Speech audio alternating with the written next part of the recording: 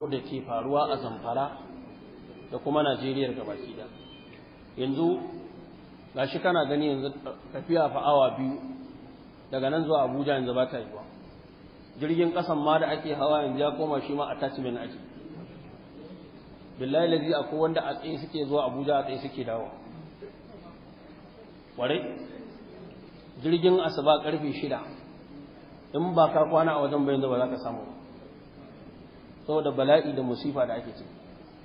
Ka ba hanyar abuja a dafe ka. A ce sai an kawo miliyan goma sha takwas. Kwanan nan da suka kama wani mutum a gombe suka ce sai an kai musu miliyan ɗari biyu. Aka yi ta ba su haƙuri da bambaki aka kai musu miliyan ɗari suka ce sai an kawo musu ragon wannan miliyan ɗari ɗin. Aka kai musu miliyan saba'in suka ce san ba za su saki mutumin nan ba sai an ciko miliyan talatin ɗin. Wani mutum da ya fusata ya ce ga miliyan talatin ɗin aje a kai musu su ne matsiyata sai da aka je suka karɓi miliyan talatin ɗin ya zama nawa? Kuma suka kashe mutum. Suka ce gashi can gawar shi tana waje kaza ba kun ce mana matsayata ba ku je ku ɗauke shi. Suka karɓi naira miliyan ɗari biyu kuma suka kashe mutum. Wannan fa shine fa bala'in fa da ake ciki ba a ƙasan nan. Yanzu zamfara ta koma aukan lazi marra ala ƙaryatin wa hiya kawiyatun ala urusha. Shekaran jiya na yi bayani a karatun masallacin matasa. Ɗaya daga cikin dalilan da malamai suka fito suka ce wannan ita ce fomular marigayi malam bubakar kuma Allah ya ji ɗansa. Komai mutanenmu musulmi su tashi su shiga saboda al'ummanmu ta musulmi ta samuwa ta samu sauƙi. Mutane sun tashi sun yi ya ƙoƙari. Yanzu shugaban najeriya musulmi kuma ɗan arewa ɗaya. Na biyu shugaban sojojin sama na Najeriya musulmi ɗan arewa. Na uku shugaban sojojin rundunar ƙasa ta Najeriya musulmi ɗanwa ɗan arewa. Na huɗu shugaban 'yan sandan Najeriya musulmi kuma ɗan arewa.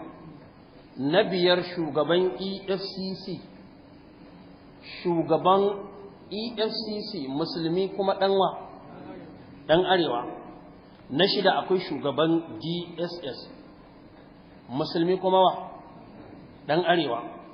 Na bakwai akwai shugaban sss musulmi ɗanwa ɗan arewa. Na takwas akwai shugaban gidan yari na najeriya yanzu musulmi ne ɗan arewa. Na tara akwai shugaban nia musulmi ne kuma ɗan arewa. Na goma shugaban fasakori na najeriya. Kwastam musulmi ne ɗanwa a arewan mazaunin kaduna ne. Na goma wanda ke gaba shugaban ƙasa shawara akan harkar tsaro musulmi ne ɗan arewa.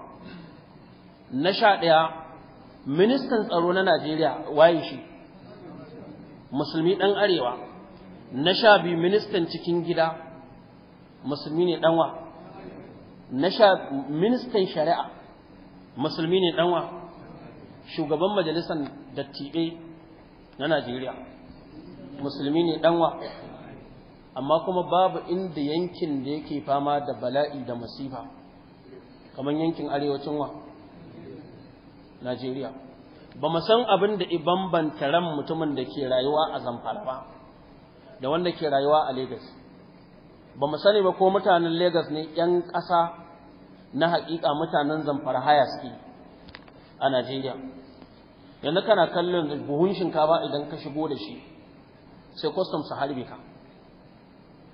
Ba za ka gane haka ba sai ka fito da kaya daga Kano zuwa Kaduna. Da aka ga yadda aka sa matakan tsaro aka tattare aka babbaki. Sai zamanto yanzu buhun shinkafa ya faran ɗan adam kima. Kaga wanda ake sa su tsara buhun shinkafan nan da rayukan mutane aka sa suka tsari ina ganin gaskiyar magana da ya fi kima. Akwatin zaɓe shi fa wanda zai je zaɓen mutum to akwatin da zai je ya kaɗa ƙuri'a ya fi shi kima saboda ana iya ɗaukar jami'an tsaro sama da dubu talatin a kai su jiha in za a yi zaɓe su kara zaɓe. Amma ba iya ɗiba waɗannan jami'an tsaron a kai su zamfara su karawa rayukan mutane. Kwanan nan ina jin kabiru marafa yana faɗa ya rantsi da Allah. Ba wai cikin ƙauyukan zamfara ba cikin garin gusau yanzu ya ce kaso ɗari na mutanen gusau kaso saba'in ba sa iya kwanciya a gidajensu. Wannan fa shine bala'in da ake ciki ba. A je rana ɗaya yanzu kwanan nan 'yan sintiri a wani ƙauye da suka haɗu suna mitin wayannan mutanen suka mamaye su. Shekaran jiya abin ya faru sama da mutum ɗari suka kashe. Sama da mutum ɗari. Yadda ka san ba gwamnati a ƙasa. Kuma a ina ne yanzu a harkar waya a ce a kama mutum wasu su riƙe shi? A wata biyu yana hannu ana tattaunawa da shi. A ce wai ba a san inda mutumin nan da mutanen nan suke tattaunawa da shi yake ba. To wannan matsalar ba ka sanin hatsarinta da musifarta da bala'inta sai an kama wanda yake da alaƙa da kai. Yanzu wata yarinya da aka kama ta aka tsina suka nemi baban ya kai kuɗi yarinyar da aka ba ta waya ta yi magana da baban ita da kanta ta ba baban zaɓi ta ce kar ya kawo kuɗin ya bari su kashe ta. Sai ta saboda halin da take ciki yin tana ganin irin abin da suka yi mata ko ta dawo ta ci gaba da rayuwa rayuwar bai da amfani a gaban ya bar ta kawai su kashe ta. Akwai matar da na ji a zamfara kwanan nan gidan rediyon da ya bari suka yi fira da ita tana da 'ya'ya guda goma sha uku. Guda goma sha biyu a gabanta aka yanka su ɗai kawai ta tsira da shi. Amma galibin malamai duk sun san da wannan matsalar abin da yake faruwa saboda wasu matsalar in ba ta shafe su ba ba ta shafe su ba kuma sun ja baki sun yi mai wasu ma ba sa jin tsoron Allah mutum zai iya zuwa ya hau kan mumbarin wa'azi ko gidan TV ko gidan rediyo. Ya ce kafin zuwan wannan gwamnati ba a yin bacci amma yanzu ko ina Najeriya ana iya bacci lafiya. Haka ake. Gashi yanzu kana kallo akwai hanyoyin da yanzu a ƙasar nan daga safe har dare ba a bin su saboda hatsarin su saboda ballantana ma dare. Yanzu ita kanta yanzu hanyar zamfara zuwa Sokoto daga safe ne zuwa dare ake iya binta. Da zaran magariba ce duk wanda ya bi ta yana cikin hatsari. A kowane lokaci komai zai iya faruwa da shi. Eh? Da ranan ma komai zai iya faruwa da kai. Yanzu wannan kwanan nan na Abuja da ya faru ranan nan ba ƙarfe shida suka tattara motoci ba suka ɗi wajen mutum talatin suka tafi da su. Duk wayannan matsalolin. To yanzu ya zamanto wayannan mutanen a matsayin su na musulmi shugabanni ɗan arewa da mu kullum muna fatin ne mana cewa kowane mukami duk yadda lalacewar musulmi ta kai gara shi da wanda bawa ba. To sai ya zamanto wayannan mutanen su suke riƙe da mukamin amma yankunan mu ne yafi ko ina fama da bala'i. Me amfanin mukamin da suke da shi? Me amfanin shi? In in dai suna da mukamai ba za su iya kare mutuncin al'umma su da addinin su ba. Me amfanin mukamin? Ba shi da wani amfani. Ba shi da wani amfani. Wannan shine halin da ake ciki. To kun ga ga wani bawan Allah yanzu. Yana magana cewa su ma ƴan uwansa sun shiga cikin wannan bala'in suna buƙatar addu'a. To gabaki ɗaya mutanen zamfara da wasu yankuna namu na nan binnin gwari tunda mu ma muna cikin wannan bala'i. Ga hanyar Abuja ta zama abin da ta zama. Nan na ba da labari na ce malam Bello Wando muna ce masa as-salafi. Da aka kama shi a hanyar Abuja aka kashe shi inda ma za a ga gawa ba mu sani ba. Sai taruwa muka yi maka mai salatul ga'ib aka watse. Inda ma za a ji a gaggawar a ɗauko ta ba wanda zai iya. Kuma wanda suke tare da shi suna da tabbas an kashe shi. Wallahi sai taruwa muka yi maka mai salatul ga'ib aka watse. Ga ɗan uwa nan a mando Yusuf Alfa. A satin da abin zai faru ya zo wajena aka je gidan shi. Bayan sun karɓi kuɗi miliyan ɗaya da rabi suka kwashi abincin gidan shi kam. Sannan suka ce sai sun tafi da ƴar shekara ma ƴar shekara goma sha uku. To nan ne ya hau rigima da shi sannan suka harbe shi. Kuma suka tafi da yarinya sai da aka kai musu naira miliyan uku sannan suka saki yarinya. A fa wannan ƙasar ba a wannan ƙasar? Duk kuma malamai suna jin wayannan matsalolin an ja baki an to mu ba kuma muke yin magana ba saboda wasu dalilai amma asali yau akan wannan matsalar na so in yi karatu a kanta. Amma na ji bayanan da ɗan uwa Dr. Abdullah Gadan Kai Allah ya saka masa da alheri. Da wasu bayanai amma ni abu biyu zuwa uku na yadda da su. Abu na farko ina rantsewa da tsarkin mulkin sarkin da ya tsaye da sama babu ginshiki. Na rantse da Allah babu yadda za a yi a ce gwamnati bata san me ke faruwa ba.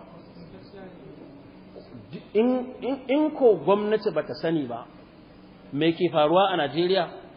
To haƙƙi ne akan ta fito ta mana bayanin cewa gaskiya fa bata san abin da ke faruwa ba a ƙasar nan. Wannan imanin ina da shi a zuciyata na rantse da tsarkin mulkin sarkin da ya tsaye da sama babu ginshiki. Wallahi tallahi babu yadda za a ce gwamnati bata san abin da ke faruwa ba. Wannan bai yiwa ɗaya na biyu babu yadda za a ce wannan matsalar ya fi ƙarfin gwamnati ba za ta iya magance shi ba. Wayannan abubuwan guda biyu ina da imani a kansu. Ina tattaunawa da jami'an tsaro da dama. Duk wanda ka tattauna da shi abin da zai ce maka wannan malam matsalar ba a ga daman magance ta ba ne duk wanda ka tattauna da shi abin da zai faɗa ma zai ce wannan malam malam matsalar nan ba a ga daman magance ta ba ne kenan in ba a ga daman magance ta ba kenan intentionally da gangan ake eh? In kuma gwamnati ba za ta iya ba to yadda mutanen nan suke cire kuɗi su siyo makami don su kashe mutane ta ba mutane dama su ma su cire kuɗi su siyo makami don su kare kansu.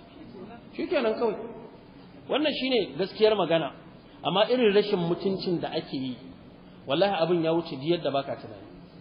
Ba yadda za a ce gwamnati bata san mutanen nan suwaye ba daga ina suke ina suke samun makami suwa ke daure musu gindi wallahi ba zai yi ba.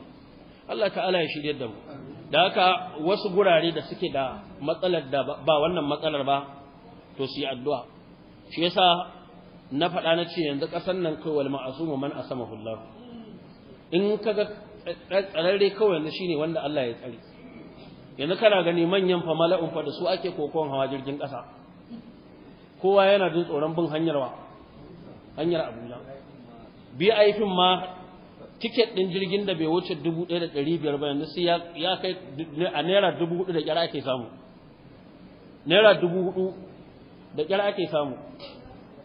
Saboda haka in kana so zaka shiga Abuja kai wani abu ranar Juma'a to dole kai ƙoƙari ka bar garin nan ranar Alhamis. In ka ce sai Juma'a zaka tabbaka tabbata jirgin zai samu. Wannan fa shine fa bala'in fa da ake ciki fa yanzu a ƙasar nan. Saboda haka Allah ta'ala ya shiryar da mu Allah ya tsare mu ya tsare mana imanin mu. Amma lallai yanzu nan Niger Niger mutumin da ke rayuwa a cikin ta rayuwarsa ta fi tabbas sama da wanda ke rayuwa a Najeriya ne. Sai dai ka zo kai ta kafafa kai dan Najeriya ne. In dan Najeriya zo kana ganin ga wani mutum ya fito daga wata ƙasa ga ta nan ga ta nan. Kuma komai na rayuwa yanzu ya fi ka. Yana da cikakken tsaro a hanyar da yake bi da gidan da yake kwanciya kai baka da shi. Abincin da zai ci yanzu shi ba matsala ba ne kai kuma matsala ne. Yana da wuta awa 24 kai baka da ita. Eh? To me kuma ya rage? Sai kullun a zo ai ta ƙarya ai ta waye ai ta waye ai ta waye. Wallahi akan matsalar na in yi karatu na fasa yin karatu. Amma zan duba in gani in maslaha ta hukunta wani darasi na gaba in zauna in tattauna wannan matsalar ta tsaro. Ni ban ce ni masanin tsaro ba ne amma dai yadda na faɗa a Najeriya nake kuma duk yan Najeriya ne mun ga abin da ke faruwa amma ba yadda za a ce wannan matsalar ba a san suwaye ba daga ina take.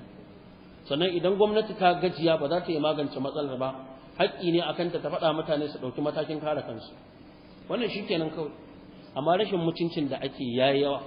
Kuma wa'annan suna riƙe da mukaman nan ana irin wannan a arewacin Najeriya. A Enugu bai faruwa. A ina ne? Bai faruwa. A Lagos bai faruwa. Duk bala'in ya tattauri ya kare a ina? Arewacin Najeriya. Sanan ga su da mukamai. To in ba za su iya kare mutuncin jama'ar su ba da mutuncin addinin su mai amfanin mukaman da suke da shi? Ba shi da wani amfani. Saboda haka mu sa su cikin addu'a. Wannan bala'i Allah ka yaye mana shi. Allah madaukakin sarki ka sa mana mafita. Wanda suka shiga cikin yanzu kun ga kwanan nan da Malam Sulaiman ya shiga hannu ba Allah ba ne kawai ya ƙwace shi? Eh? Duk wani mutum da zai faɗa ma ga yadda aka yi to sai dai ka da kawai surutu amma Allah ne kawai eh lamarin sa ya ƙwace shi. Shikenan kawai. Eh? Bayan da aka fito da su daga daji ɗaya daga cikin yaran da aka kama ya ce wallahi in ya kalli bindigogin da ke hannun mutanen ya kalli bindigogin da ke hannun sojojin da suka rako su gari wallahi bindigogin da ke hannunsu sun fi sojojin kyau. Eh? A ina suke samu makaman? A ina suke samuwa wannan shine Allah ta'ala ya shirye da mu. Saboda haka Allah madaukakin sarki ya tsare mu amma matsalar tana da mugun tashin hankali ne waran gasken gaske. Da haka wannan bala'i Allah ka yaye mana shi. Yan uwanmu da suka shiga cikin wannan yanzu wannan malamin da ya zo karatu daga dan sai zai zo karatu daga Ghana. Dan uwansa ne ya mutu a Zamfaran ya shigo Najeriya duk da shi rashin lafiya ne. Yana ce mun zai je Zamfara na ce cikin gari zaka je ko kauye ya ce mun ba kauye ba cikin gari ba ne wani kauye nace to bari mu buga in ji wani kauye ne. In yana da hatsari na ce to kai ma bai kamata ka duka tafi kanka cikin hatsari ba dan ya shiga cikin walatul qubi aidikum to tun da yaji ina mai wani lissafi ina karanta ya ce to gaskiyar magana shi ba yana ganin ya kamata ya fasa ba sai dai su mutanen can sa taso su zo su same shi. Saboda bala'in da ake fama a ciki. Yace su a can gane wannan matsalar ba su santa ba. Da dare ko da rana ko da wani lokaci kana da damar ka tafi inda kake so. Wannan abin shi amma bar mutane su zauna lafiya. Arzikin su je su ta ci su bar mutane ma su zauna lafiya sun ki eh? Saboda bala'i. Allah ta'ala ya shirye da mu da haka duk wanda yake da hannu wajen wannan abin yadda ya haramta ma al'umma zauna lafiya Allah ka haramta mai alherin duniya da na lahira. Wallahi mu shi Allah ka hana shi kwanciyar hankali. Duk wani abu da ya sa a gabansa yana so ya nasara akan shi Allah ka kayar da shi. Kuma Allah irin yadda wasu suka ga bakin ciki cikin iyalansu da ƴan uwansa kada Allah ya sa ya mutu ya bar duniya sai ya ga ninkin baninkin shi akan matan shi da ƴaƴan shi. Wannan shine addu'ar da za mu ci gaba da yi. Subhanakallahumma wa bihamdika ashhadu an la ilaha illa anta astaghfiruka wa atubu ilaik assalamu alaikum